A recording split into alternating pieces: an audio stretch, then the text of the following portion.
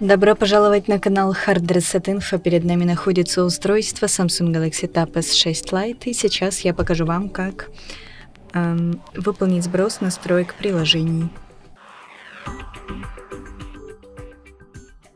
Итак, открываем настройки. После этого проходим в раздел приложения. Нажимаем на три точки в правом верхнем углу. И здесь мы можем нажать «Сбросить настройки приложений» и нажимаем «Сброс». На этом все. Спасибо за просмотр. Ставьте лайки и подписывайтесь на наш канал.